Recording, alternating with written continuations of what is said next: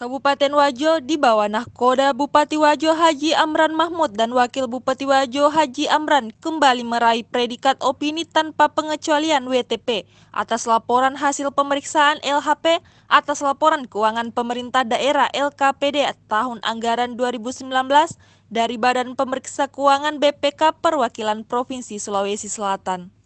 WTP tersebut merupakan yang ketujuh kalinya untuk Kabupaten Wajo di mana sebelumnya juga pernah mendapatkan pada tahun 2005, 2012, 2015, 2016, 2017, 2018, dan 2019. Hal itu disampaikan langsung Kepala Perwakilan BPK Sulawesi Selatan Wahyu Priyono dalam sambutannya pada penyerahan LHP LKPD tahun anggaran 2019 yang melalui virtual Jumat 29 Mei 2020. Wahyu Priyono menyampaikan selamat kepada pemerintah daerah dan kota yang telah mendapatkan predikat WTP. Semoga terus meningkatkan pengelolaan keuangan daerah sehingga di tahun-tahun berikutnya bisa kembali meraih WTP. Bupati Wajo Haji Amran Mahmud yang ditemui menyampaikan rasa syukur atas predikat WTP pengelolaan keuangan daerah tahun 2019. Bupati dan Wakil Bupati serta Ketua DPRD akan mengawal dan mempertahankan pengelolaan keuangan yang betul-betul menjadi harapan kita bersama. Pemerintah Kabupaten dan DPRD Wajo mengharapkan kepada BPK RI agar tetap memberikan bimbingan dan petunjuk kepada kami untuk berhati-hati dalam melaksanakan sistem penataan dan pengelolaan keuangan daerah ke depannya. Pemkap Wajo bersama DPRD mengikuti acara penyerahan LHP LKPD tahun anggaran 2019 yang melalui virtual di Gedung Utama DPRD Wajo lantai 2.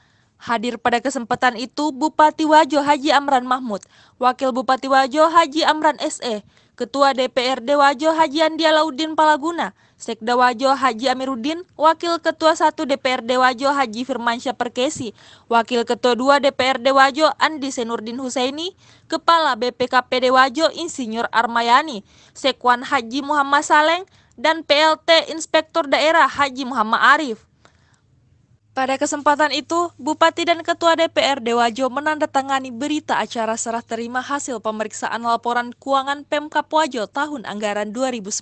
Eh, penertiban-penertiban aset yang sudah uh, dikoordinir oleh Pak Wakil Bupati, ya tentu ini semua menjadi uh, uh, apa, fokus kita ya dan dukungan dari Ketua DPR bersama seluruh jajaran ya sehingga kami sangat bersyukur uh, mudah-mudahan ini akan bisa lebih disempurnakan ya lebih memperkecil lagi uh, apa kewajaran-kewajaran yang uh, tentu uh, insya Allah ke depannya akan lebih baik. Itu uh, saya masih sangat optimis ya karena uh, uh, kepala BP uh, pengelola keuangan uh, pendapatan daerah kita ya sangat uh, mencermati dan uh, kita memang sudah wanti-wanti baik dari Pak Ketua DPR ya saya bersama dengan Pak Wakil Bupati supaya betul-betul semua mekanisme mekanisme uh, refocusing